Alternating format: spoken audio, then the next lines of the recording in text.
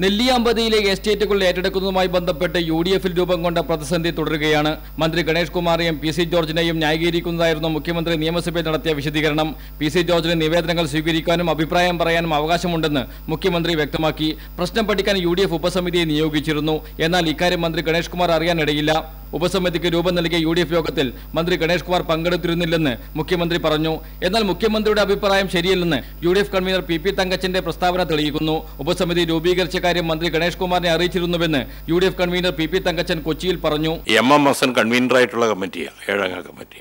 അത് ഞാൻ അന്ന് തന്നെ ബ്രീഫിംഗ് നടത്തിയപ്പോൾ ഈ ഏഴംഗ കമ്മിറ്റിയുടെ പേരുവിവരങ്ങൾ അനൗൺസ് ചെയ്തിരുന്നതാണ്. ഞാൻ വനം വകുപ്പ് മന്ത്രിയെയും ആ വിവരം ഞാൻ അറിയിച്ചിരുന്നു. പി സി ജോർജിന്റെ പ്രസ്താവനയെ ചൊല്ലി കേരള കോൺഗ്രസ് മാണി ഗ്രൂപ്പിലും വ്യത്യസ്ത അഭിപ്രായം രൂപം കൊണ്ടു.